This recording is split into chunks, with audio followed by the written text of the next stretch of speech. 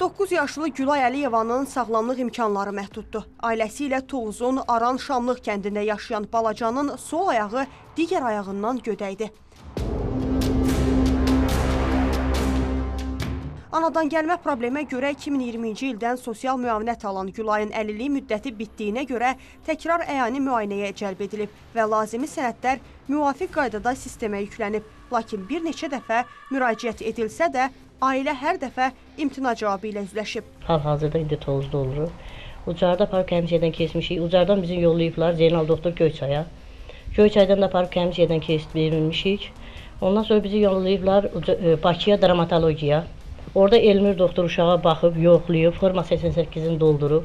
Lakin forma 88 doldurulmağına baxmayaraq onlara imtina cavabı gəlib. 7-8 ayda uşağın pensiyası kəsilib. Ki, hara lazımdır, nə lazımdır? Biz komissiyadan keçmişik, sənədləri doldurmuşuq, forma 88-i doldurub.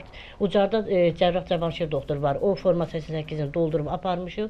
Bakıda təsdiqlənib gətirib yenə bizə imtina cavabı gəlib. İmtina cavabında göstərilir. İmtina cavabını natamam doldurulmuşdur.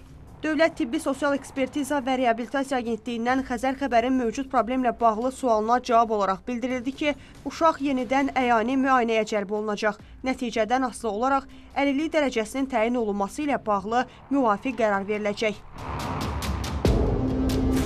Ucar rayon sakini 2015-ci il təvəllüdlü Əliyeva Gülay Səma qızının əlilliyinin qiymətləndirilməsi ilə bağlı qeydiyyat üzrə tibb müəssisəsi tərəfindən rəsmiləşdirilən forma 88 göndərişində ekspertiza üçün önəmli məlumatlar ətraflı qeyd edilmədiyinə görə elektron sistem üzərindən onun əlilliyinin qiymətləndirilməsi mümkün olmayıb. Ona görə də 25-i 9-cu ay 2024-cü il tarixdə Dövlət Tibbi Sosial Ekspertiza və Reabilitasiya Agentliyinin həkim eksperti tərəfindən Gülay Əliyevanın əyani müayinəsi aparılacaq və nəticəsinə uyğun müvafiq qərar veriləcək. Gülayın valideynləri onu da bildirir ki, əlilliyin müddəti bitib yenidən bərpa edildikdən sonra müavinətin alınmadığı aylar üçündə sosial kompensasiya məbləği də ödənilmir. Cümşüd Məmmədov, Minayə Zamanova, Xəzər xəbər.